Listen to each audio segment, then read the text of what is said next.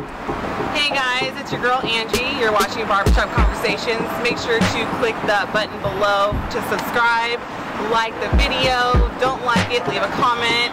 Um, you can also follow me at um, Angelica Curtis on Instagram.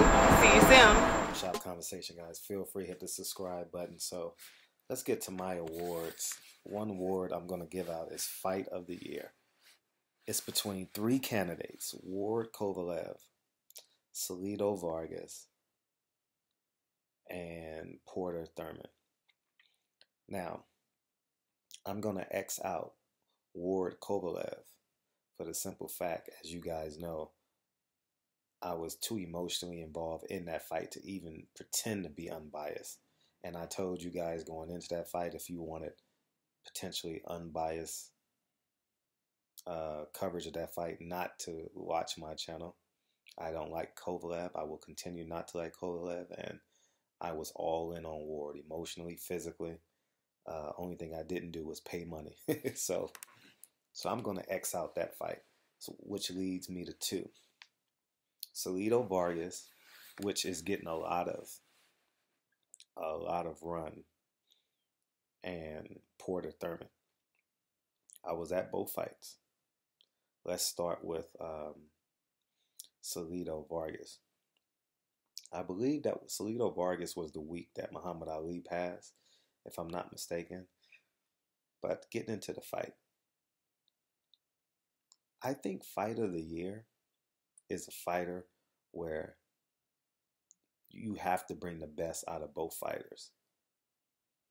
I think fight of the year can't be when the best fighter in the ring allows himself to be dictated into a fight that he doesn't have to fight to win.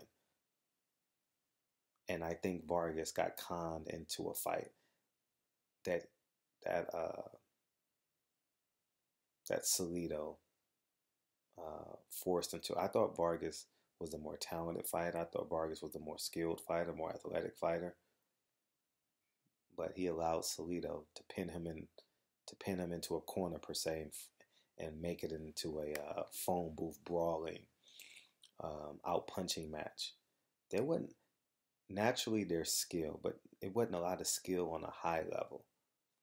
Vargas has to do a better job at using more of his boxing, his pure, authentic boxing skills. So I enjoyed the excitement of that fight. Uh, it was a slightly cold night too, if I'm not mistaken. Um, but let's fast forward to uh, Thurman Porter. I flew out to New York for that fight. I thought, okay, the reason why I'm giving, I'm not even going to pretend like I'm not, I was going to give you a case, but the reason why I'm giving Porter Thurman fight of the year is for in addition to what happened in the ring, outside the ring. At the beginning of the fight, Thurman 80 20. No one knew who Shawn Porter was. I mean, they knew who he was, but they wasn't attached to him as they was the Keith one time Thurman because obviously he speaks more outside the ring, so he'll get more of the casual fans and uh, the girlfriends of the fans. You know, I mean, he got the hair. He's, you know, I mean, so he's he's more out there per se.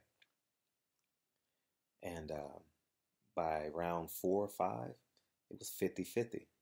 By round eight, nine, it had completely flip flopped 80 20. And um, that's one benchmark for a great for fight of the year. And two, when you get the best performance out of both fighters.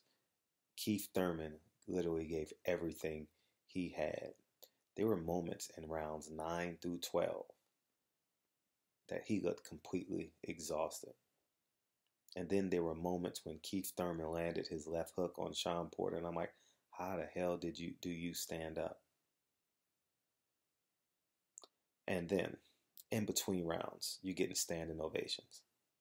I mean, they're pouring it, they're gassing they tank out. Shawn Porter gave everything he had. And, and and if you ask Shawn Porter, he will tell you that he gave everything he had in that fight. And it's just a matter of opinion. You know, he lost by one point. it's literally a matter of opinion. Who's who's judging that fight? I had Shawn Porter winning by one round, and uh, so I give Porter Thurman fight of the year. I was at both fights, but I think skills pays the bills, and I think we saw the best Keith Thurman that night, and we saw the best Shawn Porter that night. We didn't see the best Francisco Vargas that night. We probably saw the best Salido that night, but we didn't see the best Francisco Vargas that night. And that's why I believe Porter Thurman is PBC Fight of the Year and he's Barbershop Conversations Fight of the Year.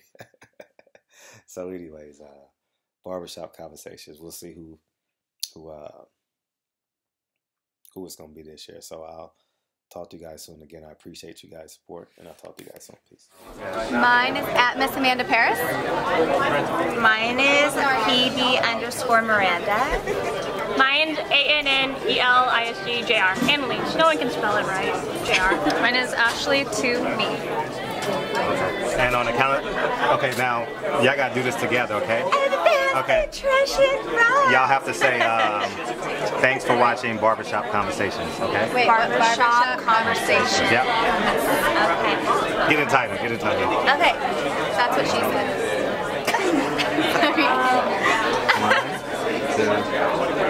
Thanks, Thanks for for watching watching Barbershop Conversations. Thank you guys.